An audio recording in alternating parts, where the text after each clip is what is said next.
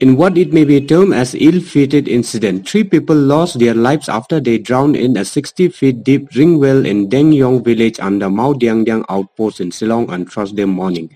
According to the official and witnesses, the incident occurred at around 11 a.m. The three men identified as Banple Lat CM 29, Lamprang Lyngdoh 29 and Warles Kharsentiu 31, all hailing from Lungske Lama in Umroi, Ri-Bhoi district, were trying to install a water pump inside a ring well when the incident happened.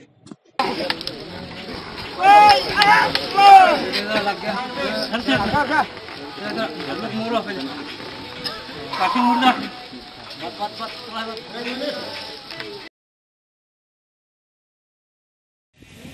Ghiền Mì Gõ Để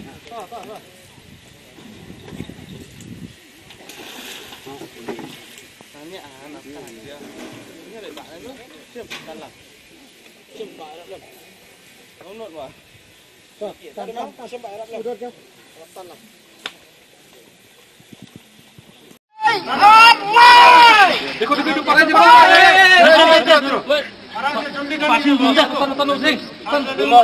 मुश्किल हो गया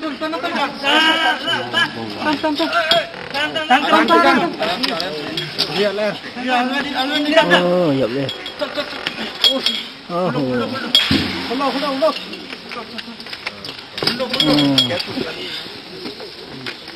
Kan. Ani khana pan lagi na. Ani pan pan pan pan pan pan pan pan Warang tu kau nanti. Kedan. Kedan ini dia. Kita pindah pindah. Tahan sila, kurasi mata nak. Kurasi.